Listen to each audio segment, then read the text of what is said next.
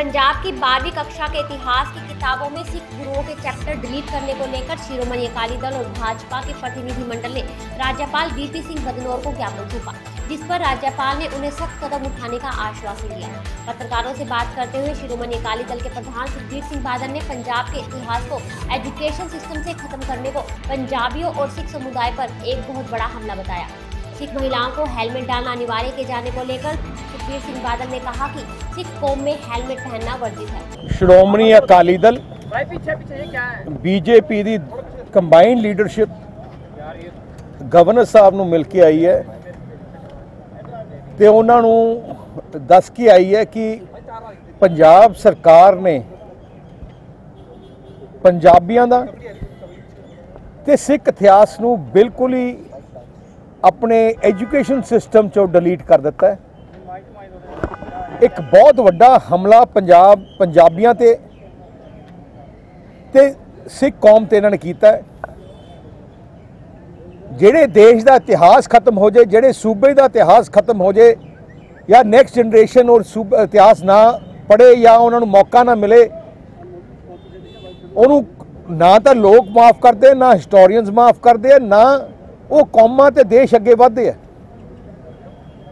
ਤੇ ਮੈਂ ਹੈਰਾਨ ਹੈ ਕਿ ਆਪਾਂ ਦੂਜਿਆਂ ਨੂੰ ਕੀ ਕਹੀਏ, ਆਪਣੇ ਹੀ ਮੁੱਖ ਮੰਤਰੀ ਨੇ, ਆਪਣੀ ਕਾਂਗਰਸ ਸਰਕਾਰ ਨੇ ਪੰਜਾਬ ਦਾ ਹਿਸਟਰੀ ਦੀ ਬੁੱਕ ਹੀ ਖਤਮ ਕਰਤੀ। ਪੰਜਾਬ ਦੀ ਹਿਸਟਰੀ ਦੀ ਐਜੂਕੇਸ਼ਨ 12th ਕਲਾਸ ਦੀ ਬਿਲਕੁਲ ਖਤਮ ਕਰਕੇ 550 ਪੇਜ ਦੀ ਹਿਸਟਰੀ ਨੂੰ ਕੱਲੇ 90 ਪੇਜ ਕੰਸਾਈਜ਼ ਕਰ ਦਿੱਤਾ। ਕੋਈ 94 ਪੇजेस ਦੀ ਗੁਰੂ ਸਾਹਿਬਾਨ ਦੀ, ਦੱਸੇ ਗੁਰੂ ਸਾਹਿਬਾਨ ਦੀ ਹਿਸਟਰੀ ਨੂੰ ਕੱਲੇ 24 ਲਾਈਨਾਂ 'ਚ ਹੀ ਜਿੱਤੇ 97 ਪੇजेस ਹੈ ਉੱਤੇ 24 ਲਾਈਨਾਂ 'ਚ। ਬਾਕੀ ਵੀ ਸਾਰੇ ਜਿੰਨੇ ਫੇਜ਼ਸ ਸੀ ਸਾਡੇ ਸਿੱਖ ਹਿਸਟਰੀ ਖਤਮ ਕਰ ਦਿੱਤੇ, ਅਸੀਂ ਗਵਰਨਰ ਸਾਹਿਬ ਨੂੰ ਅਪੀਲ ਕੀਤੀ ਹੈ, ਤੇ ਗਵਰਨਰ ਸਾਹਿਬ ਵੀ ਕਾਫੀ ਹੈਰਾਨ ਸੀ ਕਿ ਐਜਾ ਬਲੰਡਰ ਕਿਵੇਂ ਇਹ ਸਰਕਾਰ ਕਰ ਸਕਦੀ ਹੈ। ਉਹਨਾਂ ਨੇ, ਅਸੀਂ ਉਹਨਾਂ ਨੂੰ ਪੂਰੀ ਡਿਟੇਲਡ ਦਿੱਤੀ ਹੈ and he assured us that he will take it up with the state government.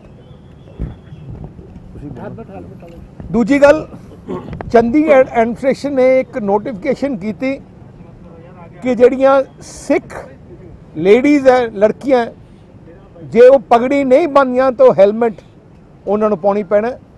ਆ ਵੀ ਇਸ਼ੂ ਐਸਜੀਪੀਸੀ ਦੇ ਪ੍ਰਧਾਨ ਵੀ ਸਾਡੇ ਸਾਹਿਬ ਨਾਲ ਸੀ ਸਾਰੀ ਲੀਡਰਸ਼ਿਪ ਨੇ ਕਿਹਾ ਹੈ ਕਿ ਹੈਲਮਟ ਇੱਕ ਰਿਲੀਜੀਅਸ ਇਸ਼ੂ ਹੈ। ਸਿੱਖ ਕਮਿਊਨਿਟੀ ਕਿਤੇ ਹੈਲਮਟ ਨਹੀਂ ਪਾਉਂਦੀ, ਭਾਵੇਂ ਆਰਮੀ ਵਿੱਚ ਜਿਹੜੇ ਬੁਲੇਟ ਪ੍ਰੂਫ ਹੈਲਮਟਸ ਲੱਗੇ ਆ ਪਰ ਜਿਹੜੇ ਸਿੱਖ ਸੋਲਜਰ ਉਹ ਪਗੜੀ ਬੰਨ੍ਹਦੇ ਆ ਤਾਂ ਇੱਕ ਇਮੋਸ਼ਨਲ ਸੈਂਟੀਮੈਂਟਲ ਰਿਲੀਜੀਅਸ ਇਸ਼ੂ ਹੈ ਤੇ ਇੱਥੇ ਆ ਜਿਹੜਾ ਨੋਟੀਫਿਕੇਸ਼ਨ ਨੂੰ ਚੇਂਜ ਕੀਤਾ ਜਾਏ।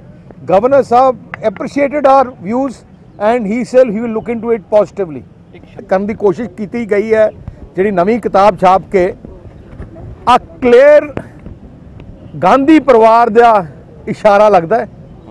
ਗਾਂਧੀ ਪਰਿਵਾਰ ਦੀ ਹੇਟਰਡ ਸਿੱਖ ਕਮਿਊਨਿਟੀ ਤਰਫ ਤੇ ਪੰਜਾਬੀਆਂ ਤਰਫ।